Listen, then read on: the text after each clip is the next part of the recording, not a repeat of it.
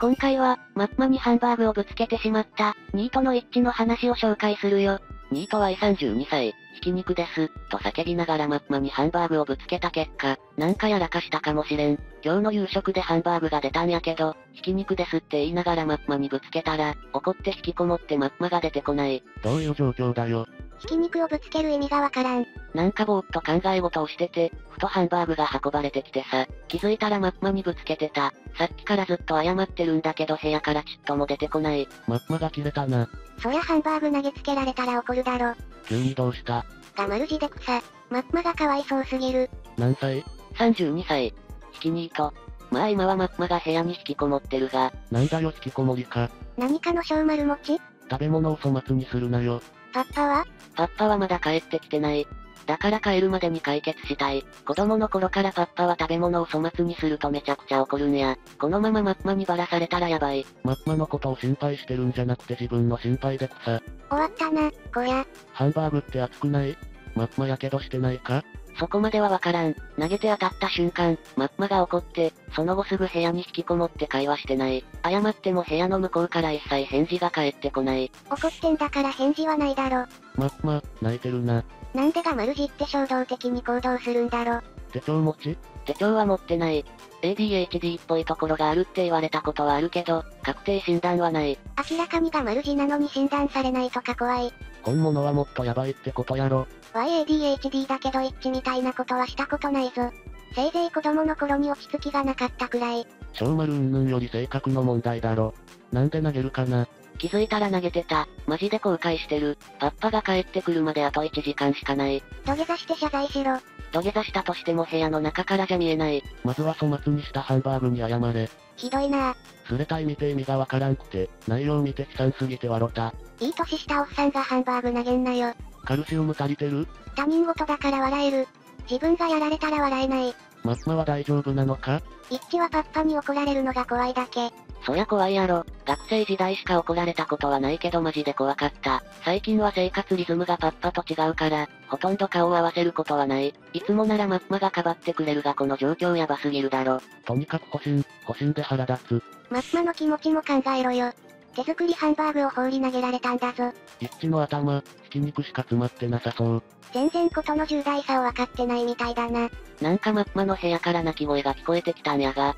マジでやばいんか。気づくのが遅いんだよクソニート。それなんか書いてる暇があるなら謝れ。こういう小丸を持った子を育てる親はかわいそうだよな。人生終わってるわ。子供だから捨てて周りに迷惑をかけても困るしな。パッパとマッマから責められればいいと思う。スポンサーをなんだと思ってんだよ。マッマしか味方がいないならなおさら握手やろ。自分で投げたんだし自分で責任取れよ。ニートとはいえ32歳は大人だろ。どうやったらこんな大人に育つんだよ。怖すぎるだろ。22歳の Y より精神年齢低くて草。小学生並みだよな。ハンバーグはどうなったの？拾って食えよ。マッマが泣いていなくなる前に皿に置いてった。もう手遅れだな。パッパが帰ってきたら明らかに何かあったって気づかれる。さっさとハンバーグ食って証拠隠滅しろよ。一回マッマに当たった後で床に落ちたし、冷めてかなりまずそうなんやが。食えよ、パッパにバレるぞ。一致はハンバーグに恨みでもあるんか？嫌いとか。別にハンバーグは嫌いじゃない。じゃあなんで投げるんだよ、アホかよ。がマルジ以外の何者でもないだろ。子育てした結果がこれじゃな。マッマはもう立ち直れないな。こいつマッマが泣いてる理由がハンバーグが当たったことだけだと思ってそう。息子が不甲斐なさすぎて泣いてんだぞ。そうか？ハンバーグが痛かったんだと思うが。これだから泣かれるんだよ。そもそも、まともな思考をしてたら養ってくれてる親にハンバーグを投げない。それな。マジで行動が理解できん。不利じゃないなら反省した方がいい。小学生ならともかく32歳なんだよな。なんがひき肉ですだよ、丸ね。自分が認知されればいいと思う。無駄にイラつくすれ。マッマも泣くとか引きこもるんじゃなくて追い出せばいいのに。無力感なんだろ。この後、帰ってきたパッパが追い出すだろうから平気、平気。さすがにこれは追い出し案件だよな。投げたハンバーグのように一致も放り投げられてほしい。ハンバーグとマッマに謝れ。引き続き、ニート関連のスレを紹介するよ。ワイニート、ついに明日社会人復帰、ゲロ吐きそうおー営業職できる気しない。初日はどうしたらいいんや。怖い怖い怖い怖い怖い怖い怖い怖い。はぁ、はぁ、はあの、挨拶とかあるよな。いややや。注目されるの嫌や。立花から通うんかせやな。ワイニート、高みの見物。羨ましいよお前も働くときこうなるで。あーいやあ。勉強したくない。Y がついとるで。君も働いてるんか？明日は祝日だぞニート。ニートさん、とりあえず様子見て周りに合わせるんや。自己紹介のテンプレくらいは何答えるか考えとけ。ほんま嫌やな。怖いよ。ハキハキしとけばいいよな。お、23歳同い年の民やな。頑張れよ。なんか準備したか？何の準備もしてない。何したらいいんや。朝の挨拶のスピーチ内容とか考えとかんと。あとは勢いで平気平気よ。例えばどんなこと言うたらいいんや。頼む、教えてくれ。長いこと言わなあかんの？今日からお世話になる〇〇です。前職では何々をやっていました。不慣れですが頑張るのでよろしく。くらいでいいやろ。ありがとう、助かる。ネット検索してみめっちゃ転がってるで。ニート歴があることも言った方が気が楽になりそうだが、舐められそうでもあるからお前さん次第や。ニート歴はやめとくわ。ただ、元気に挨拶するわ。元気が一番やな。大丈夫変なボケとかいらんからな。せやな。ありがとう。とりあえず、政治ネタとかオリンピックネタや感染症ネタなど、対立の原因になりそうなことは絶対避けろ。Y は自分の名字ネタでまず名前の印象付け狙ってる。え、そんな受け狙いとかせなあかんの？受けは狙わんよ。漢字が複数あるタイプの名字だから、丸のやつでお願いします。ってだけ。陽キャっぽいな。求人どこで探したんや？エージェントや、何歳？23歳。声小さかったらその時点で上司に嫌われるからな。マジか。声小さいわ。複合戦2期か？せや、勉強しまくらなあかんみたい。ほんま嫌や。そんなんでよく営業やろうと思ったな。やれそうなやつやれよ。ニート上がりで、営業しか内定もらえんかった丸2体電話応対もマナーもなんもわからん。とりあえず、電話してきた相手の名前と所属は絶対に聞いてメモれ。Y が取らされるんかな明日。一致のとこはどんな職場かわからんけど、デスクあって電話が置いてあったらなるやろ。ああ、そんなんやったことない。どうしよう。前職は営業なんやろ。前と同じでええやんけ。名ばかり営業なんや。実際はルート配送。無そうか。まあ丸株式会社丸部です。ご用件は何でしょうかとか言って、あとは相手の要件聞いとけばええよ。そんでメモ取ったらええ。マジでサンキュー。メモ取る練習するわ。おめでとう。頑張るんやで、ワイも早く社会復帰したいんを。できるだけ早い方がいいです。Y みたいになる。コミュ障なのになんで営業にしたんや。F ランコミュ障、前職一応営業職やから営業しか内定もらえんかった。あと福利厚生も大事にしてるから、あと笑顔の練習やな。これは基本や。マスクがあってよかったわ。マスクがある方が大変やで。マスク取るタイミングが伺えなくてなんか恥ずかしい感じになるしな。マスク取るとかあるん？ニートから営業とか始まる行為やろ。なんで営業なんかに飛びつくんや。給料がええからか？まあワイも土方に行って後悔したけどな。福利厚生いいところやと、営業しかないんや。自社製品とかわからんやつでも客先や社内で可愛がられて出世するやつもおる。すべては愛想や。愛想がないやつはたとえできても目の上の単コブや。そこよな俺と一緒じゃん頑張れ。なあ、マジで頑張ろうな。ニートからいきなり営業職とか無茶するななら、どこがいいんだよ。教えてくれ。マジレスすると工場とかかな。部署にもよるが、会話が少ないからコミュ障の方におすすめ。せやけど、F ラン文系なんや。ものづくり経験ないし、営業しか受からんかった。工場の方が良かったかな。ああ、今まで朝に起きれたら社畜部で、偉そうなこと言って上からの転物してたのに。は糸井見れなくなるぞ。あ、もう野球見れなくなると思うと泣きそうになる。奇遇やな。ワイの会社明日から新しい人入社してくるからいびったるわ。やめてよー。アフターファイブ、接待多いみたいやから不安。おえー、誠実にやってればいい。声もそんなでかくなくてええよ。普通に喋れたら十分。頑張るわ。てかためやん。何年ニート20卒で、新卒で入った会社1年で退職代行使って辞めた。絶対緊張で汗かきまくり、陰キャが無理しすぎてる感出てまうわ。ほんま丸2体わい、やっぱ営業あかんかったんや。一日中クソみたいな自分語りしてて草。誰もお前なんかに興味ねえよ。怖いねん。お前らしか友人おらんのや。マジで泣きじゃくらせてくれ。ワイも明日からや。続く気がせん。マジか、共に頑張ろうや。まあワイはスジャータがマルジは嫌いちゃうから、また人生失敗して南 J で、発狂するの楽しみにしてるわ。頼むで。もう二度と同じ二の舞はごめんや。腹くくると決めたんや。お前スジャータがマルジやろ。営業が無理で逃げ出したのになんでまた営業やんねん。結局営業しか内定もらえんかったし、やっぱり福利厚生は営業の方がいいからな。運転免許持ってる？工場行く大卒って、マジでぶっ壊れてるやつ多いよ。そんで続かないで本物のニートになる。なんでや？工場って暗いイメージやわなんか。Y は7月1日に転職したけど、先輩と終電まで飲み歩くくらいには馴染んだぞ。嘘やん、めっちゃ仲良いやん。なんで？年の差あんまないん何の営業や？複合繊維。めちゃくちゃ勉強せなあかんみたい。やってやる。泣きながら頑張る。ネクラコミョ小ニートが営業職やってみた結果。なん J が生きがいの、Y にとって人生駆け出すれたて実行してみせる。ちなみに Y もニートから営業にランクアップしたで。10ヶ月くらい前ん。ちゃんとやれてるんか？ちゃんとやれてるかどうかって俺が決めることじゃないし。お前が決めることやろ。やれてるの？金稼ぐってのは他者の評価で成り立つもんやぞ。自分で満足してても他者の評価が伴ってないと意味ないし、逆に自分ではまだまだだと思ってても、他者に評価されるなら金を稼ぐ手段たりうる。深く考えすぎやろ。仕事なんて適当にやって、金もらうためにのらりくらりするもんや。ガチのやつはマジで言葉通じないし喋れないからな。対人恐怖とか精神病の類を併発して面接にならんから。ニートにも色々ある。ええやん。俺もニートだけど20後半から社会人になれた。何の仕事つけたんや？コミュ障ってほんまにひどいやつは多分自丸するレベルやで。何の仕事もできんから。Y もその分類や。生きてるやん。前職、仕事できなさすぎて何回も丸ぬか考えた。高校のバイトからやな。まあコミュ障でも買ってくれるとこてあるもんやで。営業はありえへんやろ思うけど。Y にできるんかな先輩、仕事もしないで何してたの？この返しでお前の扱い変わるぞ。バイトしてましたは表向きやが、実際はなんて言うべきなんや。頑張るわ。感染症がひどい中で面接受けたん。せやな。とにかく頑張るしかないな。引き続き、ニート関連のスレを紹介するよ。1008円、ワイデブニート。朝からローソンでいっぱい買ってきたからドカ食いする。ちな、これで1008円。さあ食うで、一食分なん。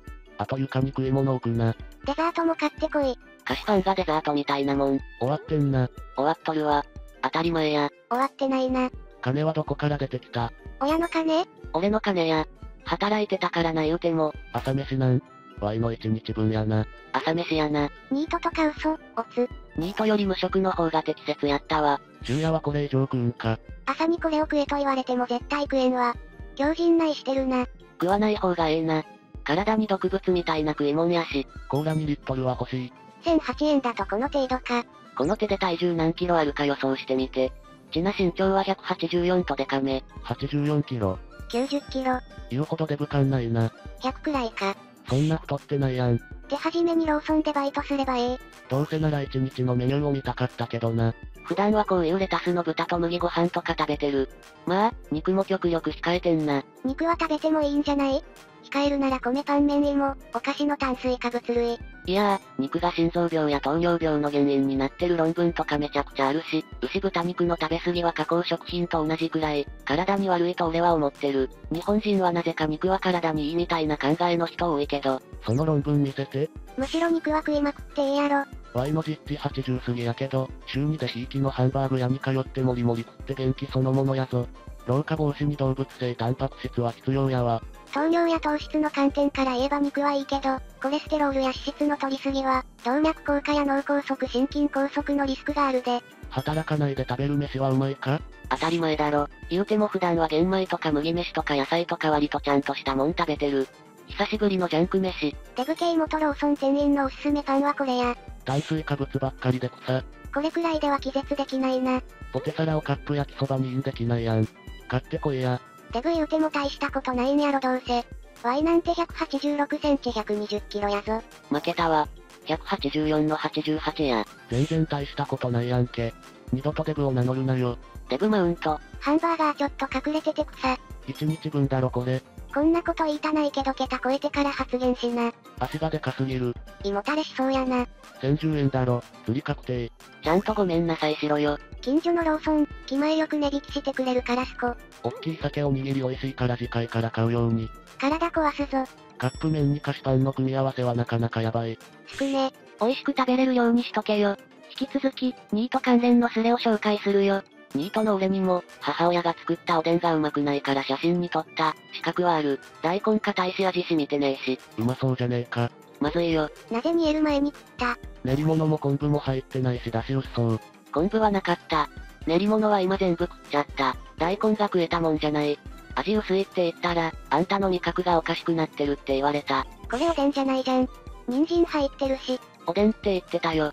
普通人参なんて入れないよな。お前が作れよ。めんつゆかけて食え。おでんの素に乾燥昆布入れればセブンイレブンと変わらないぞ。おでんみたいなもの。今水入れた。俺が汁作り直すわ。ニートの俺にも味を語る資格くらいあるわ。これは面白そう。頑張れ。だしは SB のおでんの素でしょ普通。めんつゆと、カツオの素しかねえな。いけそう。学生時代はおばあちゃんに飯作ってもらってたけど、今となってはあのまずさが懐かしい。おかん大事にしなね。練り物なしじゃおでん味にはならんだろ。全部俺が食っちゃったからな。おでんとして作り直すつもりならなしじゃ絶対無理だから買いに行け。行かないならカレーか肉じゃがあたりにリメイクだな。人参あるし、ここから肉じゃがにしろ。みりんって必要？ニートのくせにお母さんに文句言うなよ。味はともかく硬い大根は煮込むしかない。大根が全然味染みてねえんだよな。騙されたと思ってオイスターソース入れてみろ。大根は下茹でしてなさそうだし、面取りもしてないし基本的に仕事が雑よな。うまいもん作ろうって心意気を感じない。昔からこんなんやで、みりんとめんつゆとカツオの素入れてみたぞ。みりんはいらん。沸騰したら冷めるの待て。そこからさらに煮ると味が染みる。美味しくなれよ色がすでにおでんじゃないけん。関東風にした。練り物は足さんのか。ちくわ入れてみた。あるんかい。ごめんね。お母さん初めておでん作ったから、ごめんね。今聞いたらやっぱ大根、下茹でしてなかったらしい。続きはないのかい。今冷ましてるよ。味見はまだ？なかなかいい感じ。マッマの食事に文句言うなよ。引き続き、ニート関連のスレを紹介するよ。ワイニート31、家を追い出され、泣きながら深夜の公園でご飯を食べる。泣きすぎてめいたい。悲しい。慰めて。贅沢しすぎやろ。の割にたらふく食ってて草。満喫してて草。いいもん食ってて草。いいもん食ってんな。茹でないパスタバリバリ食うもんやろそこは。ほんま悲しい。所持金130円。泊まる場所どないすればええ？お腹いっぱい食べて楽しそう。ちょっと元気出た。なんで追い出されたの？自己責任。いい年して恩恵にすれ立てて、構ってもらおうとするところがもうキモい。なんでそんなこと言うの？どうせ親が寝静まった後こっそり自分の部屋に帰るんだろ。試したけど鍵かかってた。コンビニのトイレで寝ていいなんでニートになったんや？そら働くのめんどくさいやろ。草。次からは自分の部屋の窓を開けとけ。泣きながらがっつり食ってて草。眠い寒い辛い悲しい。なんで追い出されたん？親いないと思って冷蔵庫漁ってたら見られてガチギレされてこうなった。そりゃ怒られるわしゃあない。体震えてる小声丸ぬんかな。サバイバル楽しそう。こういうことやりたい。めっちゃ食ってんの草。携帯も持ってるし。台湾風混ぜそばうまそう。てか追い出された初日に金使い切るの草。もう家帰れないけどどうするん？これからどうするの？冷蔵庫漁ってたのも、3個入りのプリンあるやん。